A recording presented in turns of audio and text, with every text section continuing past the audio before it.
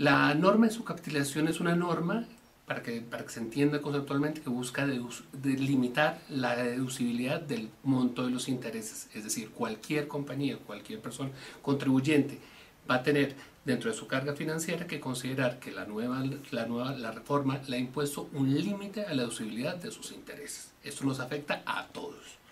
¿Cuál es el, cuál es el, digamos, el, el marco que nos da para determinar cuál es ese límite?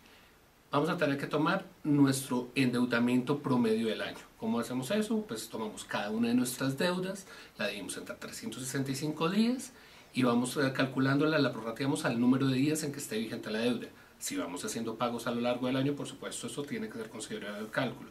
Esto nos va a arrojar una primera cosa que es nuestra deuda promedio del ejercicio. ¿Contra qué lo vamos a comparar? Y vamos a hacer para esto un ejemplo muy sencillo. Tenemos una deuda promedio de 100 del año del ejercicio 2013. Y ahora vamos a tener que compararla contra nuestro patrimonio líquido al 31 de diciembre de 2012.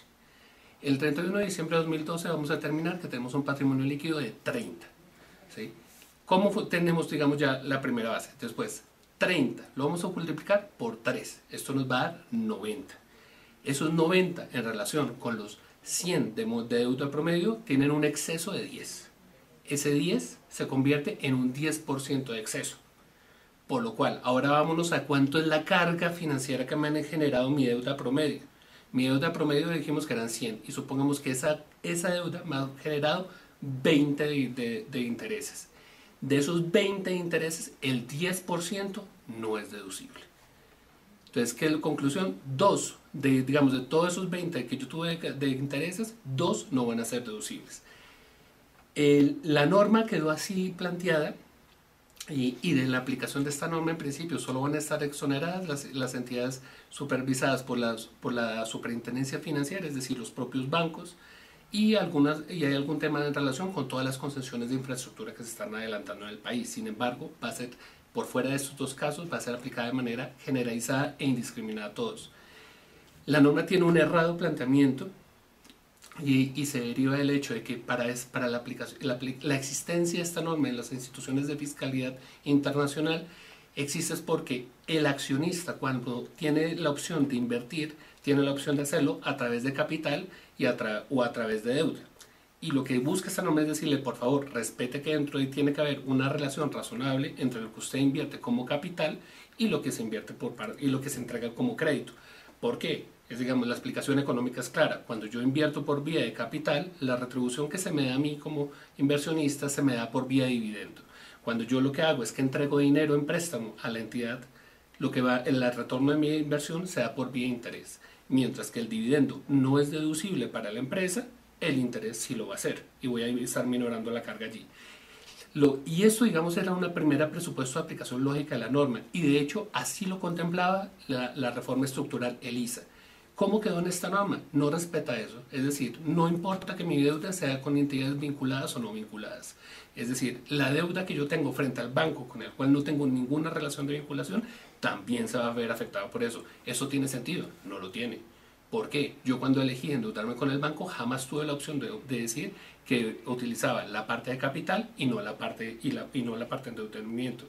Es decir, estamos entre terceros en que el, tema del manio, de, hacer una maniobra fiscal con fines elusivos no tiene ningún sentido. Segundo, la lógica además de esto lo que, lo que lo persigue es que también se aplique entre entidades o bien que están en el extranjero, ¿Por qué? Porque si yo, si yo estoy entre entidades nacionales, pues por supuesto lo que será mayor gasto para mí será mayor ingreso para la otra parte. Por lo cual, en principio, sal, la única justificación que habría entre entidades nacionales es que fuera entre partes vinculadas. Es decir, que, eh, perdón, entre partes vinculadas, que estuviéramos ante un régimen preferencial, como podría ser el régimen de zona franca o un régimen o una sociedad que esté aplicando ley 1429 y esté a tarifas de cero inicialmente y progresivas de renta. Pero por fuera de eso no, tiene, no, tiene, no debería tener aplicación.